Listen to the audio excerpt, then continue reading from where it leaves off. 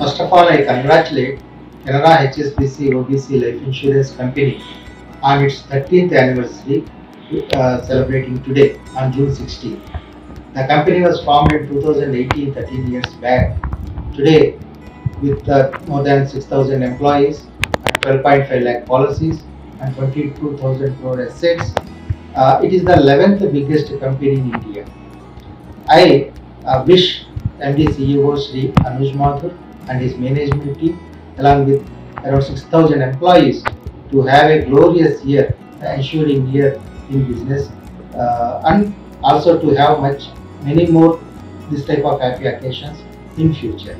Last year, Karnataka Vikas Grameena Bank uh, has entered an MOU with the Canara HSBC OBC Life Insurance Company and the first year of our business partnership we could garner and around 6,000 policies amounting to 14 crores.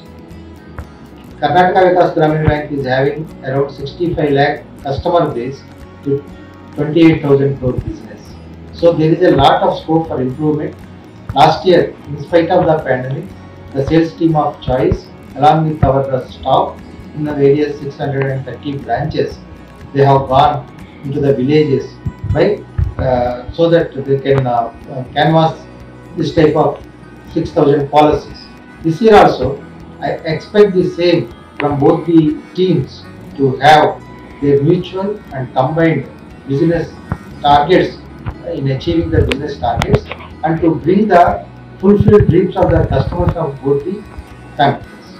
Once again, uh, I congratulate uh, all the uh, staff members, management team and ensure and the customers also to have much more uh, glorious, many more glorious years of this type of anniversaries in future.